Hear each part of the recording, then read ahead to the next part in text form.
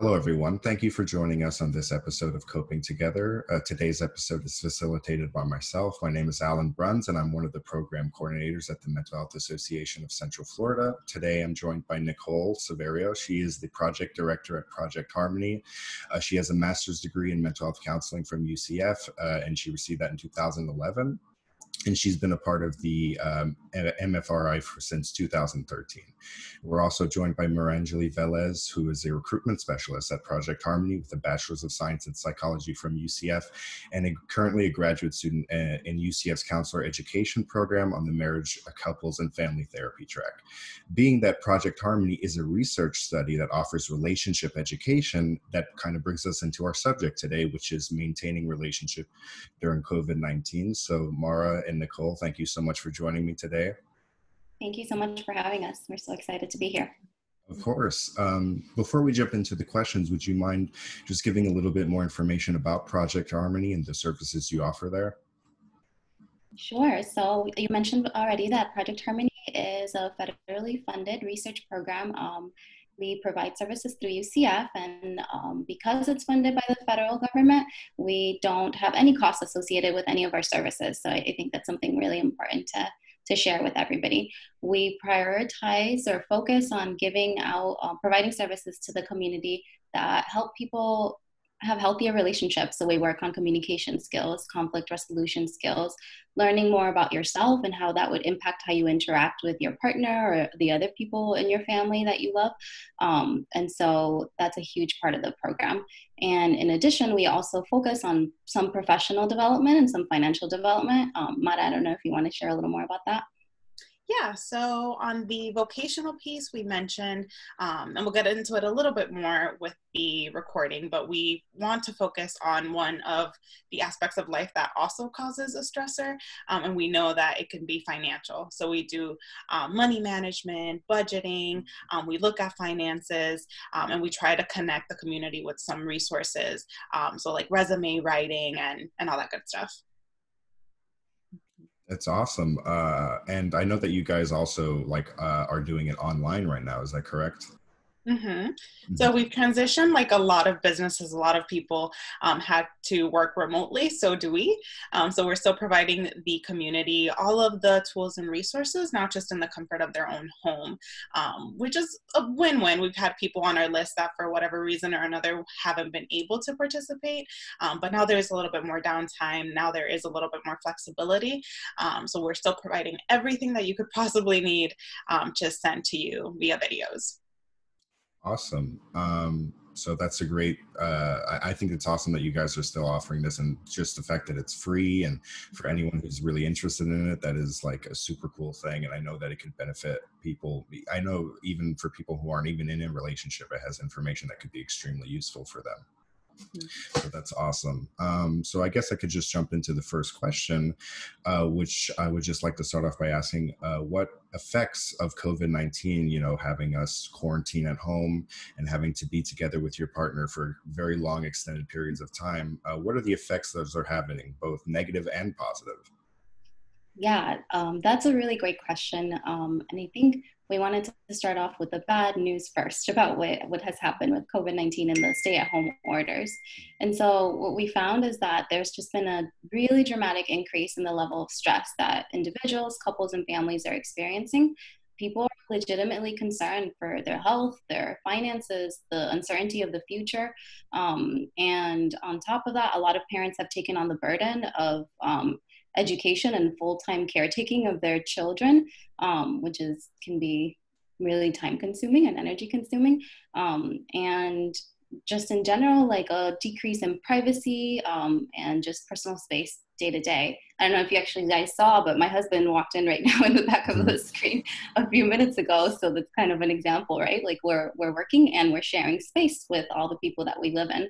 Um, and so you know, stress can make us feel more irritable.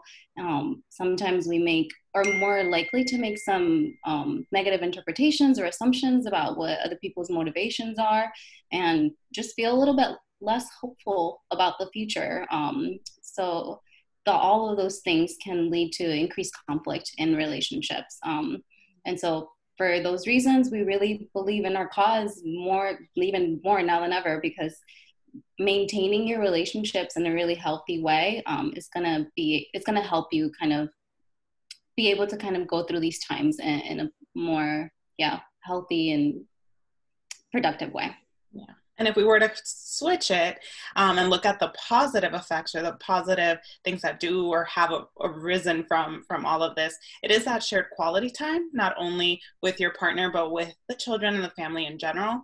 Um, so, kind of reestablishing the interest or reestablishing um, things that you may have forgotten about your partner that you knew from the beginning if you've been married for years.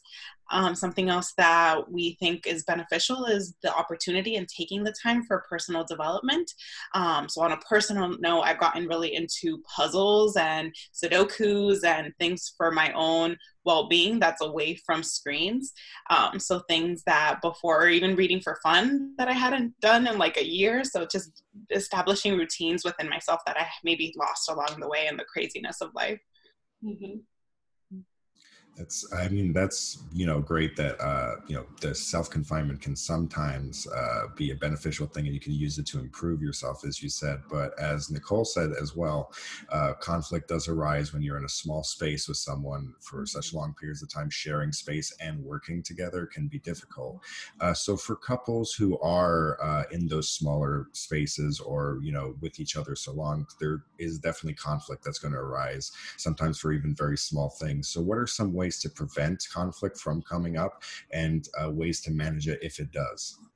Mm-hmm. Yeah, so for this question, we really thought that resources like ours um, would be really, really great uh, starting points for a lot of families and individuals um, because we are providing you with all of the tools that you would need to be able to learn how to prevent conflict and honestly manage conflict when it comes up because we don't want to create unrealistic expectations. Like, conflict is really a natural part of any relationship, especially at times of increased stress.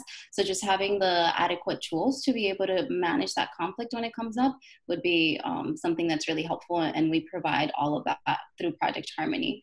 Um, some other tools that that we actually go much in, much more into detail during the workshops is um, kind of being open about your expectations and talking through with the people that you're sharing your home and your space with, um, and just being flexible at times about uh, what those expectations might be because sometimes we have to adjust them um, and communicate about them. So that's something that a lot of times can prevent some some conflict for for people and families, couples and individuals.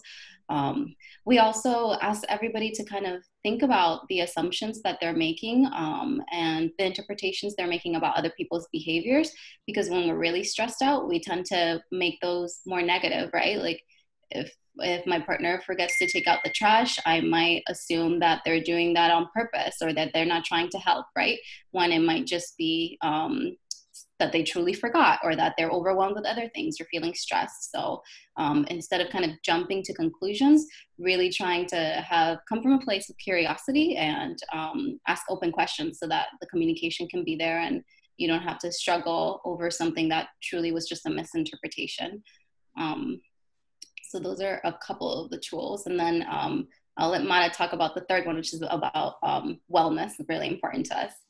Yeah, so I wanted to add really quickly that we hear the what sounds like a cliche now, right? Like communication is key, but it has been so true for so long and even more so now.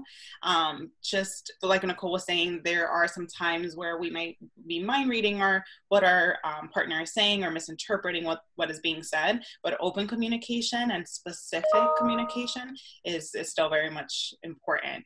Um, and as Nicole was saying, the wellness piece with couples and being able to um, do things together for their well-being. So we highly recommend, you know, um, exercising together together, um, doing things like journaling on the side, like letting those things vent in a very healthy way um, so that it doesn't reflect or show in the relationship in the future, if that makes sense. Oh, yeah, it definitely does. Um, and I think those are some great points. Uh, and I know that uh, doing things together can sometimes build a bond as well. And you, you, know, you can still use the time you have together, even though it's probably not in the best circumstances, to you know continue your bond together and stuff, and, and build your relationship. So, great advice, guys. Thank you so much. Um, and to maybe go a little bit off of instead of talking about uh, couples who are living together and spend a ton of time that way, there are some couples who are very new and the relationship hasn't quite uh, you know become to the point where they are living together or anything. So for those types of couples um, what are some ideas for dates uh, for them or for couples who are even living together uh, that can help keep things exciting uh, you know and uh, like if they're at different residences and they can't really see each other what are some date ideas for them yeah, I can start with the long distance relationships um, because I think, especially now, this is the time and era of technology. So it's time for us to use it. Use those platforms and surfaces that we can connect visually so be it you know zoom calls or um, skype calls or whatever um, is most effective. And then the good old just talking on the phone like that never goes out of style never goes out of fashion. Um, something to think about is how important humor is especially during times of stress um, and times of challenge. Um, so sending your partner a friendly you know a joke or sending them a funny meme just keeping things really interesting um, and using those those video chats to have a virtual dinner. So I'll eat my dinner, you eat your dinner, but we're eating together. Um, you can watch a movie together. I mean, there are so many things that couples can do at a distance to still be socially safe. Um, still caring about each other and still maintaining the and enhancing the relationship during this time apart. Absolutely. And um and the creativity lately with this stuff has gone up the roof. Like you can find so many good ideas online. Um, for couples and families that are at home and are still following stay at home orders, you know, um, doing things like creating a date night in your own living room or a candlelight dinner um, is a great idea. A picnic in your own backyard or your balcony, if you have access to that, can also be super cute and engaging. Um, and things that are themed, like game nights or movie nights um, that are for the whole family or just for the couple can be really awesome too. So I think um, we try really hard to kind of post some of these ideas in our Instagram. Um, so that's something that you can um, follow us on. What's the Maraha? Is it MFRI? yeah, the MFRI um, Instagram. Every Monday, we try to incorporate ways to connect, um, and we do it for couples, we do it for families, we even do it for friendships. Um, so a lot of times especially with everything going on right now, it can be easy to kind of be in your own bubble and be in your own family space. Um, but reconnecting with those that are important to you, with those that you network with, um, is important as well. So every Monday, ways to connect. And I would say that this is an, an especially important aspect of uh, relationships to maintain because that positive bonding, like uh, was mentioned before, can really create a lot of resilience. So, having fun together and connecting and feeling good around each other helps us deal with conflict uh, in a much healthier way. And uh, just to make it easier, and everyone will put that Instagram link in the comment section below as well. So you could just click on that really quick and uh, take a look at all those awesome tips and uh, ideas that you guys are coming up with.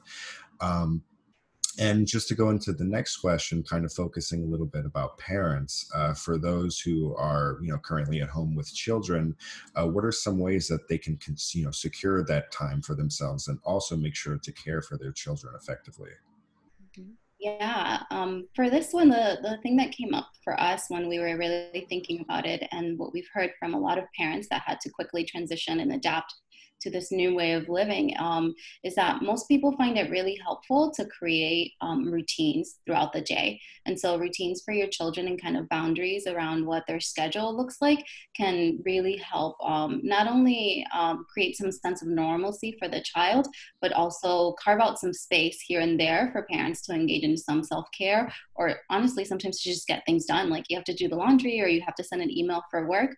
Um, having that routine will be able to assist in that. So, things like having a specific uh, bedtime for your child that's uh, pretty essentially the same every day. Um, maybe that creates a couple of hours for you uh, while they're asleep, and you can still do some work or do some um, self care, um, or things like 30 minutes of reading or 30 minutes of art time every day or three times a week. Um, things like that can really help with carving out some space for for parents. Um, we've also heard really often that parents do this tag team kind of situation where one person maybe takes the lead on dinner or breakfast and the other person uses the time to be able to do the things that are important to them um, in that particular moment so um, if you are in a two parent household uh, really working as a team is a really good idea yeah and i can't help but also think about the households that maybe have one parent or um, that it's a divided family or whatever the case may be it's really important to have that me time and and i know we're in a time right now where it might seem wrong to be a little selfish, but having me time is very important, especially for just the harmony in the household. And, and children are sponges, they can absorb the way that the parents are behaving or communicating or can tell if they're stressed. Um, so, definitely doing something, um, for example, if the kids are old enough, um, kind of create a movie night for them, make popcorn, create ices or slushies, give them a soft blanket, leave them in the living room, um, and then just go and into the room and read a book or do some yoga or do some meditation, do anything for the person because this is going on for a while and we want to make sure that everyone in the household is kind of out of balance within themselves as well. Mm-hmm. Mm-hmm and I know that one issue that parents are dealing with is uh, their children see since they're at home a lot, uh, they kind of feel like they're on vacation, uh, mm-hmm. so they don't take their work seriously. So I could definitely see how having like a scheduled regimen of you have to do this and this and this and this will make them feel more organized as if they were in school. Um, so definitely great advice there. Um, and then for my final question, uh, you know, even before uh, COVID 19 uh, came into effect and impacted us so much, uh, one of the leading disputes uh, at home between couples is related to finances. And now, with the virus causing a large loss of income for many families due to layoffs and furloughs, um, what are some recommendations you would make to help with those uh, stressors? Yeah, we thought this was a really important question as well because even, yeah, like you said, even before the pandemic and all this uncertainty that has really come in terms of finances and the economy, um, money is the number one argument starter for couples. I mean, money is stressful. Um, a lot of times it's very closely tied to our personal values, um, and it can represent stability or peace of mind for a lot of people or for most people, right? Um, so we're really sensitive to the fact that many families are struggling right now um, with their finances. And our recommendation is really to reach out for the resources in the community that are able to help. Um, through Project Harmony, for example, we have a workshop that's dedicated effective budgeting. So really considering how much money is going to be coming in and how do our expenses look like and so how do we balance that out and what are the adjustments that we have to make um, so that that can be a potentially really good resource we also assign everybody a case manager and that person can connect you to other resources in the community that might be able to help um, but there's a, a lot of uh, organizations in the community that are dedicated to helping with some of these financial struggles that are very, very real right now. Um, yeah, and we would like to add to um, that we don't want people to feel that they're alone doing this. Like a lot of people are experiencing the same challenges and struggles, and maybe in relationships or in families, it might seem easier to shove those feelings down and try to figure it out, you know, be very A type and try to figure things um, the right way or a certain way, but speak to your partner, not because they'll have a solution, not because they'll, you know, rub it in your face or anything, but because communication is really important and venting to someone is really important, um, especially during stressful times. Um, we also want to add to everyone to be very careful. Um, we know that there are a lot of resources and a lot of opportunities for help um, but we also know that with that come a lot of risk and a lot of people trying to do not so good things. Um, so definitely just doing research on whatever it is that you might be applying for um, and just being very, very aware of those things. Absolutely, yeah. Mm-hmm. And uh, that's all the questions I have. But just going a little bit off of what you said, uh, we encourage you to reach out for help you know with those resources you have in the community. Project harmony is one. The mental health association is another one. Um, and we're going to give all of our information to contact us and to uh, you know get into the program at part, project harmony in our comments section. So be sure to check that out. But we really encourage you to take advantage of these programs because they are uh, of no cost. You know, Mental Health Association and Project Harmony. So we definitely recommend you know reaching out and trying to get help if you are struggling at the moment. Uh, and sometimes, and it's not a sign of weakness. You know, sometimes you need that that help, and getting it is really important. Um, so thank you both for taking the time to join me uh, with to join me today. Uh, and uh, is there anything else you guys would like to add about the program or how to get in contact or anything like that? Yeah, I kind of speaking about this um, this concern of finances. Uh, we I don't know if we mentioned already, but we recognize that participating in our program is an investment of time. And so, generally, or always with participation in Project Harmony, there's incentives of uh, Walmart gift cards to help families in need right now. So, completing the full program, you can gain up to $100 in Walmart gift cards per uh, person participating. So, um, we just kind of want to highlight that, and especially now at times when people might need the little extra help. So, it's a, it's a thank you from us to everybody who participates because we know that it's an investment of your time to, to be part of Project Harmony. Um, and aside from that, I think it would be nice if we uh, say the phone number. I'm sure we'll add it in the links, but you can reach us at 407 823 1748. Um, and actually, most likely, Mara would pick up the, phone if you call our main line there. Um, and to sign up, it's just a few minutes on the phone with Mara. Um, we'll gather some of your information and explain the whole program to you. Um, but we're really excited and proud about what we have to offer um, and just really happy to be one of the many great resources that are available right now to the community. Yeah, and if anyone has questions, um, any hesitations, um, I encourage you to call the number as well and then um, to provide with as many details as possible. Um, I want to explain everything from A to Z, and the whole program is voluntary and at no obligation. So just wanting to make sure that it's a good fit for everyone. Awesome. Uh, I think that was very well said and a great way to end it. So thank you both for uh, meeting me with me today. And I hope that everyone is able to take something meaningful from this conversation. And we encourage you again to reach out for help if you need it. Um, but thank you both so much. Thank you. Thank you, Thank you. All right. Goodbye, guys. Bye.